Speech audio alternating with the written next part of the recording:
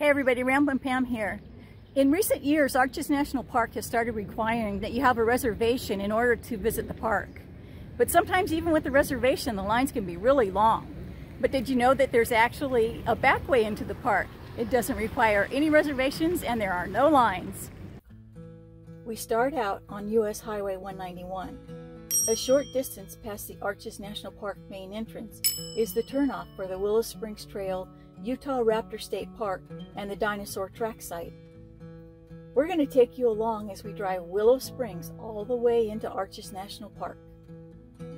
At the beginning of the trail, you can see there's dispersed camping in the area. A lot of this trail is on BLM land. It's marked on your map as BLM 378. Next, we came across a couple of sandy spots in the road. Some have suggested airing down your tires, but we did not. We just kept it steady and made it just fine.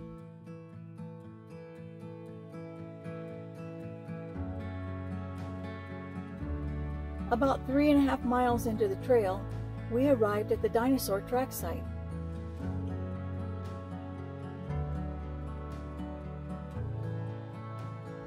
These sauropod and theropod tracks were made about 165 million years ago.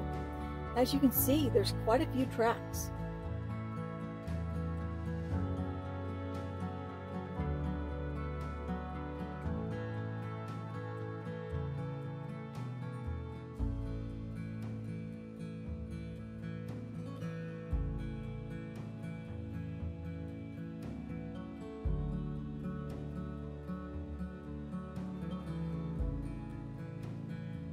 There's an interpretive board where you can take some time to read about the history. This was a really interesting stop. After you pass this area, there are a few rocky spots in the trail where you'll need to carefully maneuver. We had to get out and uh, spot, have you spot us. Yeah. Uh, two places, I think. Yeah, and Where- you'll see that in the video. Where wheel placements, uh, you have to be careful with. And you'll see on the rocks uh, where we're talking about where there's scrapes from other people that went down there. Yeah, and there's a few vehicle parts and stuff Yeah. that uh, people weren't careful where they went down, and they didn't have good uh, departure angles. Yeah. Show me where. I want the driver's side wheel there, passenger over here. So we come down right here. And this is what we don't we don't want to come down here and scrape. The scrapes, you can see the auto parts there. Oh, okay. Come down right over here.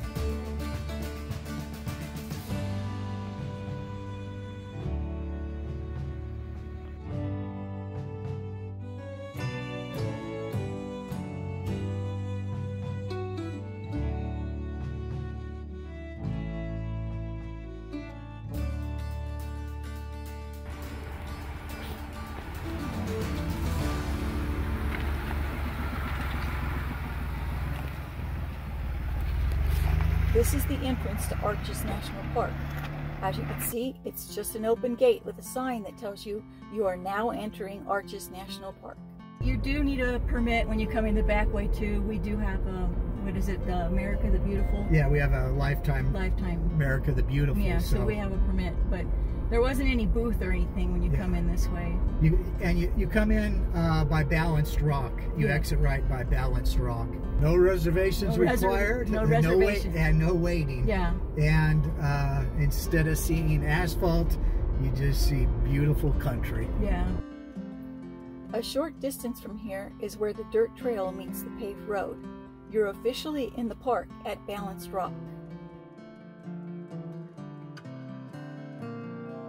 Another thing to note, we have Verizon and had cell service off and on for most of the trail.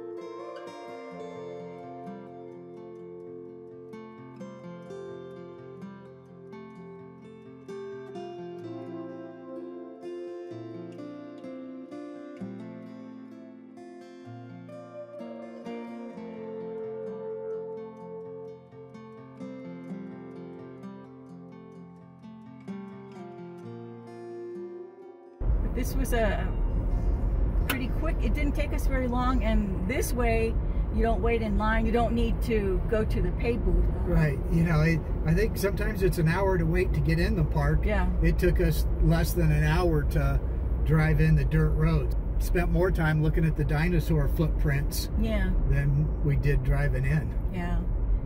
But it's seven and a half miles of dirt road.